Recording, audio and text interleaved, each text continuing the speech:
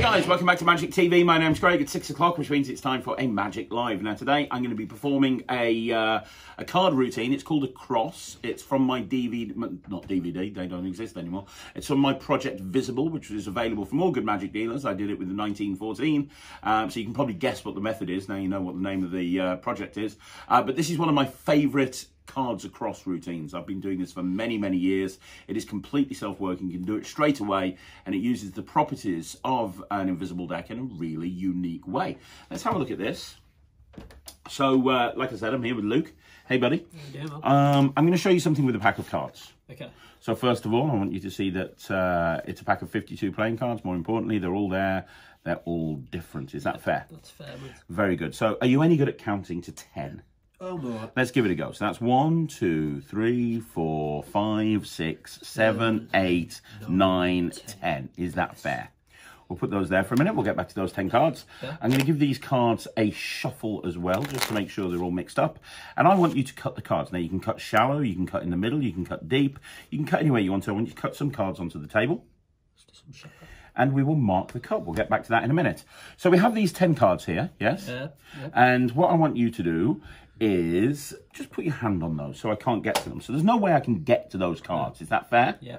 Now I'm going to show you something impossible with three cards. And I could use any three cards for this, but I think it'd be better if you pick the three cards, which is why I got you to cut the deck. And you cut to three cards here. You cut to a three of clubs, Yeah. you cut to a king of clubs, and a jack of diamonds.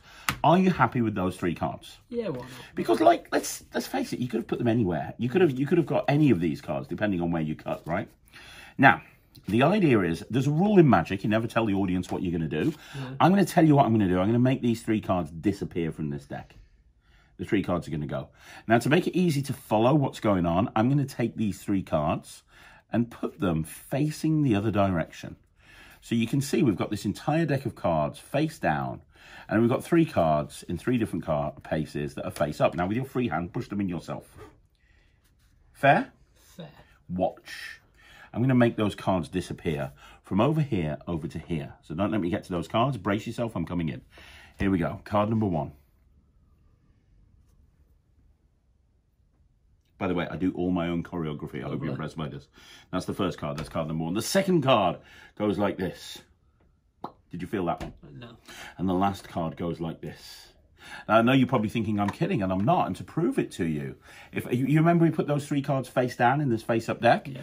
If I just spread through the deck, you can see that there's no face-down cards there. Those three cards that you picked have gone completely, never to be seen again. Well, actually, when I say never to be seen again, I'm lying.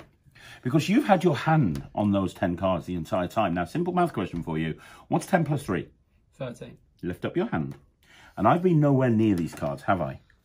Let's just count and let's see what's happened. So we've got one, two. Oh, look, there's a face down card that's appeared. That's three, four, five, six. Oh, another face down card. That would be seven, eight, nine, ten, 11, 12, 13. Three cards have appeared in between these 10 cards. But that's a good trick.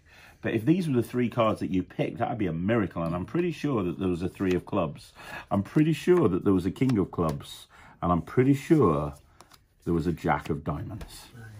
Amazing. And that's called the cross, guys. That is uh, a very easy to do cards across. If you like it and you want to learn it, you can learn it from my project Visible, which, like I say, is available uh, from all good magic dealers. It's four and a half hours of download. Let me know what you think in the comments down below. If you want to see more video like this, like the video, subscribe to the channel, leave a comment down below, and I'm going to be back again tomorrow at six o'clock with another Magic Live. I'll see you then.